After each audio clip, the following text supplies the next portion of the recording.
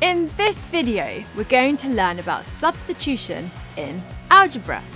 You've probably come across the word substitute in sports, when one player is substituted on in place of another player.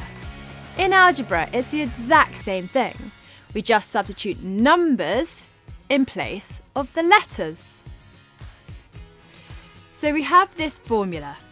If the base is 5 centimetres and the height is 10 centimetres, then the area is half times 5 times 10 because we have replaced the b with 5 and the h with 10. So the area is 25 centimetres squared. That's all there is to substitution. Just be careful with negative numbers. Make sure you remember to include the minus signs. And put brackets around them to make sure you get the calculations correct. Before I set you off on some questions, here's a quick refresher on how negatives work. So two negatives become a positive.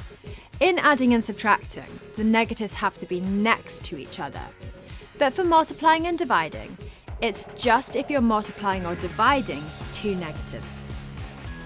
Whereas, if there's just one negative when we multiply and divide, then the answer stays a negative.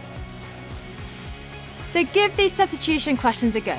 Pause the video, work them out, and click play when you're ready. How did you get on? So that's all there is for substitution.